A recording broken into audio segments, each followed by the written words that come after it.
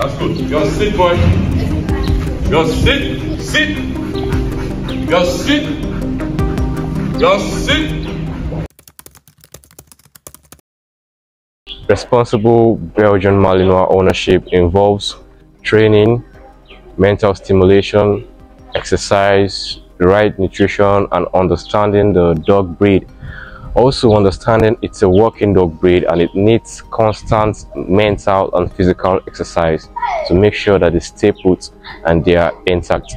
Also being a responsible Belgian Malinois owner involves you knowing the breed standard, the breed characteristics, respecting the breed standards and also making sure there's always a dog so represents the breed rightly